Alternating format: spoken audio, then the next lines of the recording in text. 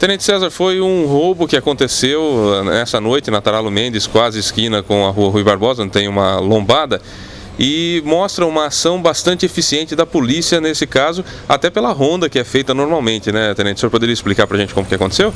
Isso, exatamente. Os policiais eh, estavam estacionados, né, fazendo operação visibilidade, quando ocorreu o roubo. Então o indivíduo, numa aproximando a lobada, diminuiu a velocidade do veículo, quando foi surpreendido por três indivíduos, um deles armado, é, solicitando dinheiro, pedindo o dinheiro que ele, que ele está, que ele tinha, né?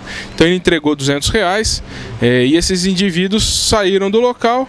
Momento em que o, o, a vítima conseguiu visualizar a viatura que estava ali próxima fazendo essa operação. Então ele é, avisou, explicou o que havia ocorrido e começou o policiamento, né? Todas as viaturas passaram a, a procurar esse gol prata. Né? Quando os policiais, o sargento Aranha e o soldado Severo tiveram a ideia de pedir para o nosso centro de, de atendimento e despacho para ligar nos motéis para verificar se esse veículo não havia entrado em um deles.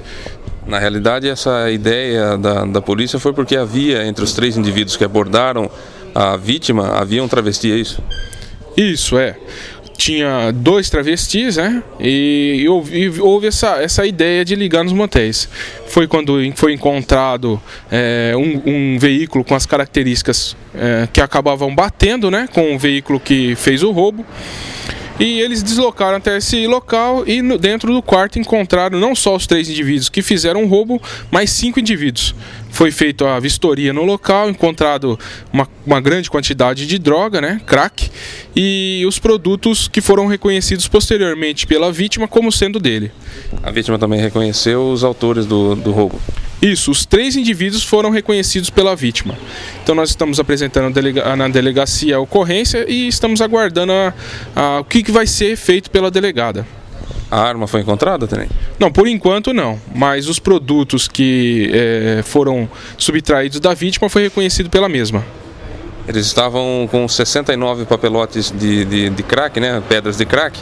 E nesse caso, se houver necessidade também, de acordo com a doutora Imaculada, dá para até enquadrá-los como tráfico de entorpecentes também, já que vários deles têm passagem? É, um deles já é conhecido no meios policiais, nós temos é, denúncias de que ele faz o tráfico. Outros dois seriam de. outros três ligados já com passagem para furto e um por furto, né? E um com passagem por receptação, confere? Isso, exatamente. Agora então o procedimento da Polícia Militar? Nós estamos apresentando na delegacia a ocorrência e, estamos aguardando a, a resposta da delegada. Participaram dessa ocorrência quais soldados? Olha, toda a equipe, né? Principalmente o Sargento Aranha e o Soldado Severo. Muito obrigado e parabéns pelo trabalho, Tenente. Obrigado, um bom dia.